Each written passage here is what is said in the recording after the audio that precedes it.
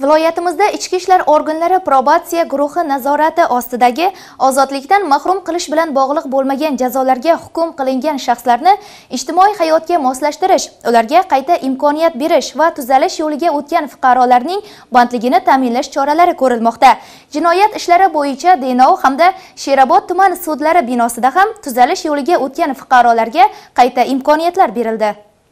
Ayni paytda jinoyat ishlari bo'yicha denov tuman sudi binosida jinoyat kodeksining turli moddalari bilan ayblanib sudlangan mahkumlarga nisbatan denov tuman ichki ishlar boshqarmasi tomonidan kiritilgan taqdimnomalari ko'rib chiqilmoqda. Ishmurodov olimjon rahmatovich o'zbekiston respublikasi jinoyat kodeksi ikki yuz yetmish uchinchi moddaning uchinchi qismi a bandiga asosan o'talmay qolgan ozod cheklash jazosini ikki yil bir oy sakkiz kuni o'tashdan muddatga ilgari shartli ravishda ozod qilinsin olti nafar farzandning otasi odil eshmurodov ham bilib bilmay jinoyat sodir etgandi.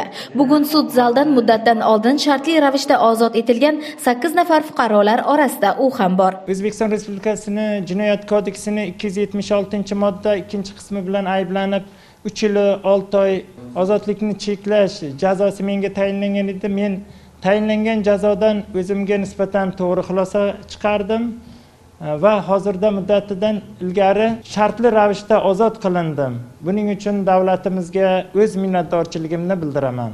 Jazoni o'tash davomida qat'iy tuzalish yo'liga o'tgan shaxslarga imkoniyat berilgan bo'lsa qilmishidan to'g'ri xulosa chiqarmasdan qayta jinoyat sodir etganlarga o'talmay qolgan jazo muddati jazosining boshqa og'irroq turiga almashtirildi.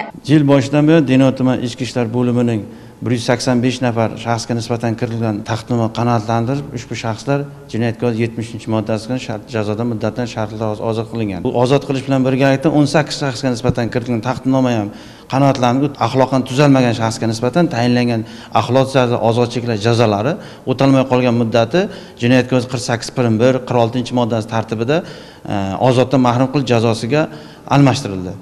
Sud yakunida nazoratda turgan shaxslarning muammolari o'rganilib ularga huquqiy maslahatlar berildi.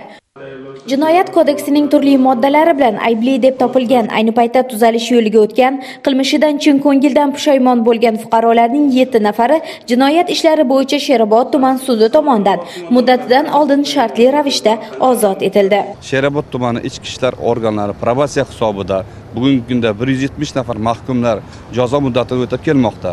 Ular bilan to'liq profilaktik nazorat kuchlari olib borilmoqda. Shu kungacha ular tuzalish yo'liga o'tganligi uchun jinoyat ishlari bo'yicha sherobod tuman sudi tomonidan ellik to'rt nafariga muddatdan ilgari shartli ravishda ozod etilgan. Bundan tashqari probatsiya guruhi hisobida jazo muddati o'tayotgan shaxslarni ozod etilgandan so'ng qayta jinoyat sodir etganligi uchun ularning bir nafariga nisbatan e, jinoiy ishlar bo'yicha sherobod tuman sudi tomonidan qo'shimcha ravishda jazo tayinlangan. Ikki ming yigirmanchi yil sentyabr oyida futbol maydonchasida o'zimda o'zimga notanish bo'lgan fuqarolar bilan e, o'zaro tortishib qoldim janjallashib qoldim. Keyin ularga og'ir tan jarohati yetkazganim sababli menga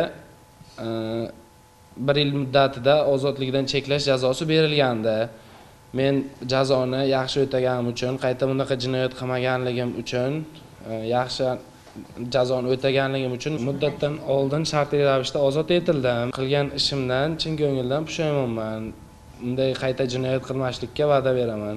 Bu borada surxondaryo viloyati miqyosida olib borilayotgan ishlar hamda raqamlarga nazar tashlasak. Ichki ishlar tomonidan keng jamoatchilik vakillari bilan hamkorlikda mahkumlar o'rtasida o'tkazilgan profilaktik tadbirlar natijasida bir ming to'rt yuz o'n to'qqiz nafar jazo muddatini o'tayotgan nazoratdagi shaxslar hisobdan chiqarildi. Shuni alohida ta'kidlash joizki ularning sakkiz yuz to'qson bir nafar qat'iy tuzalish yo'liga o'tganligi e, o'zini ijobiy E, ko'rsatganligi sababli sudlar tomonidan muddatdan ilgari shartli ravishda ozod etildi.